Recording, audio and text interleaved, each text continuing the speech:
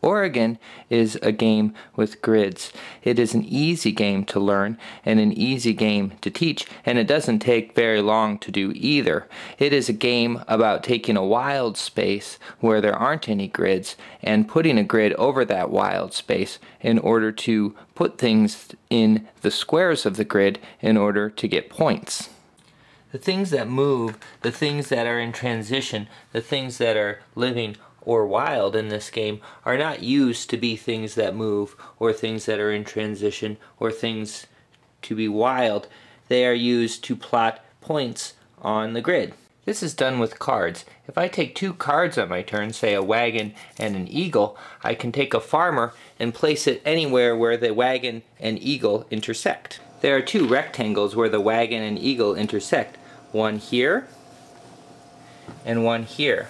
Each of these rectangles has a grid of six spaces. I may put my farmer in one of those spaces. I do this to get points. A farmer may not score points alone, however.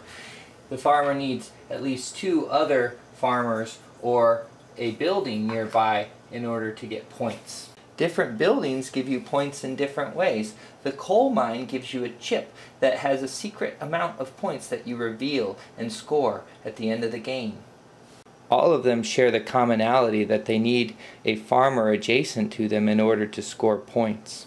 You may score points by placing a farmer or by placing a building next to a farmer. As the game goes on, the grid fills up until a player runs out of farmers to place on the board or until the building supply has dwindled to a sufficient point. Players will likely look back on the game and find that they enjoyed a nice low stress competition with their friends, acquaintances, loved ones, whoever they happen to be playing with. They will be grateful for the grid, grateful for how it limited their options and allowed them to focus on the importance of scoring points during their brief time settling and inhabiting Oregon.